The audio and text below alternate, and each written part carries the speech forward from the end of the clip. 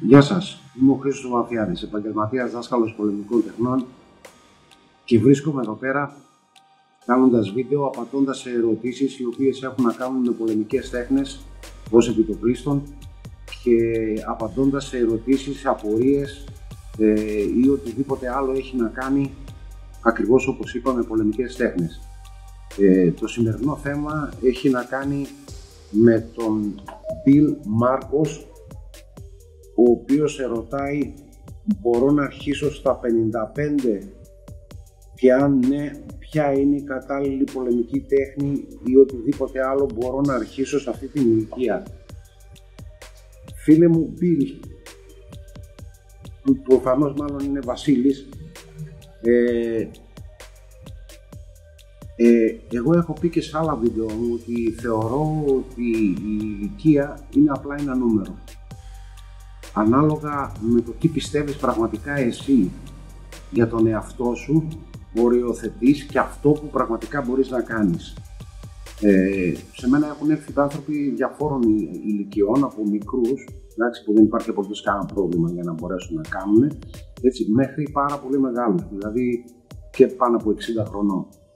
Ε, εγώ βρίσκομαι σε ένα σύστημα το οποίο λέγεται Wing το ξέρουν όλοι, με ξέρουν όλοι ότι είμαι δάσκαλο του και πιστεύω και λέω ακράδαντα ότι είναι ένα σύστημα το οποίο δεν έχει όριο ηλικίας, αρκεί να θέλεις να ασχοληθείς. Είναι ε, στα θέματα το, τους, το, το σωματικών απαιτήσεων είναι, είναι μηδαμινό, δηλαδή έχει μηδέν,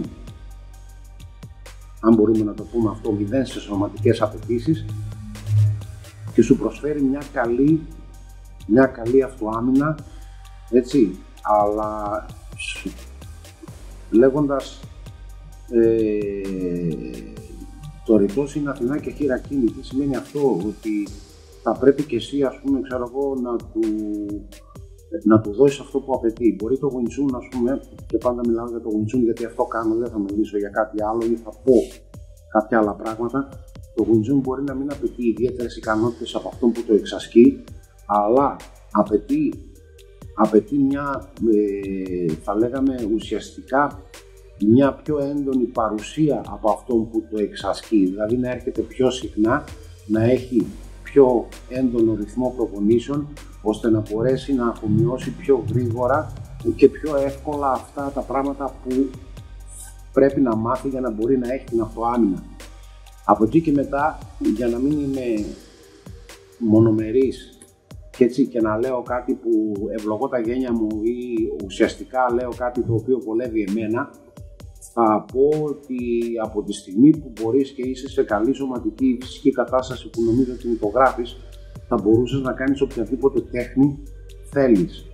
Ε, κάποιες τέχνες έχουν μεγαλύτερες απαιτήσεις, τις οποίες θα σε δυσκολεύανε περισσότερο, οι οποίες είναι και τα μαχητικά αθλήματα αλλά και μαχητικές πολεμικές τέχνες οι οποίες έχουν απαιτήσεις από το σώμα όπως είναι ελαστικότητα, ε, ταχύτητα, δύναμη, ευληγησία, έτσι, όπως είναι τεγοντό, καράτε, kickboxing γιατί όχι, πυγμαχία γιατί όχι, απαιτεί καλή φυσική κατάσταση, δεν ξέρω ας πούμε, αν ε, γυμνάζεσαι παραπέρα και μπορείς να έχεις μια καλή φυσική κατάσταση για να κάνεις μια πυγμαχία. Η πυγμαχία απαιτεί πολύ καλή φυσική κατάσταση από αυτόν από την ασκή.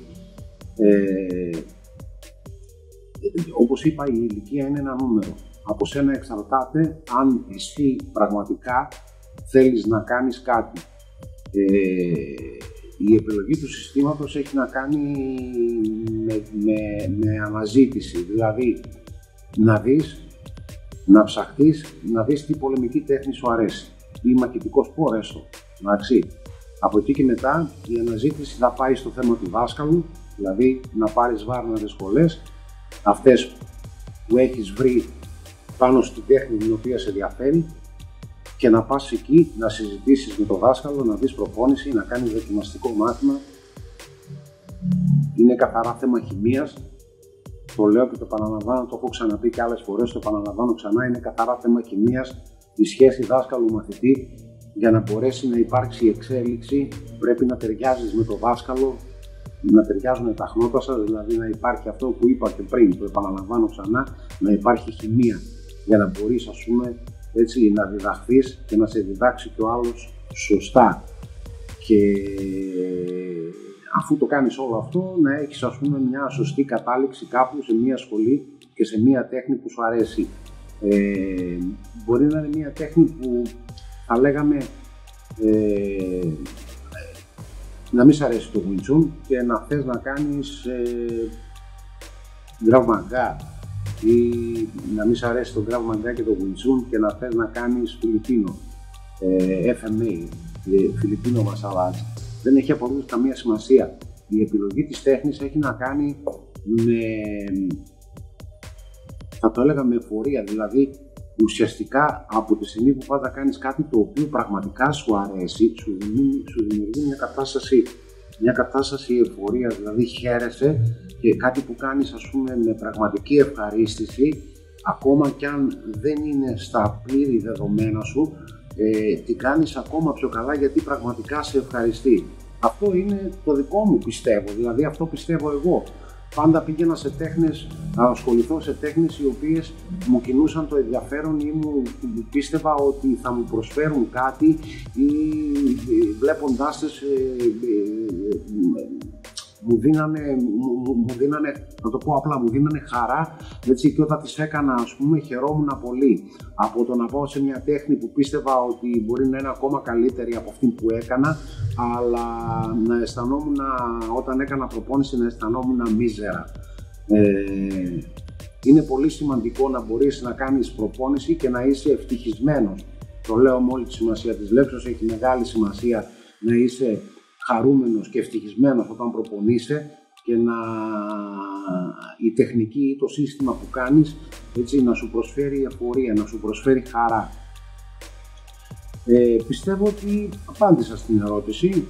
Εάν σου έχω δημιουργήσει κάποιες απορίες που δεν νομίζω, είμαι πολύ ευχαρίστως να σου απαντήσω σε γραπτά ή αν είναι τόσο μεγάλες οι απορίες σου να ξανακάνω βίντεο για να σου απαντήσω. Ε, εδώ έρχομαι και λέω για όσους με ακούτε για πρώτη φορά, μπορείτε να κάνετε εγγραφή στο κανάλι μου για να με ξανακούσετε από τη στιγμή που πιστεύετε ότι αυτά που λέω έχουν αξία. Μπορείτε να κάνετε ένα like, ε, μπορείτε να συστήσετε το κανάλι σε ένα φίλο που πιστεύετε ότι έχουν, ε, αξίζει πραγματικά να ακούσει αυτά που λέω. Και κλείνοντας και ολοκληρώνοντας, θα ξαναπώ αυτό που λέω κάθε φορά. Είμαι ο Χρήσο Ζωβαφιάδης, επαγγελματίας δάσκαλος πολεμικών τεχνών. Ζω και δουλεύω στη Θεσσαλονίκη στις Παναγίας Φανερωμένη 42. Σας εύχομαι ένα καλό απόγευμα, να είστε καλά.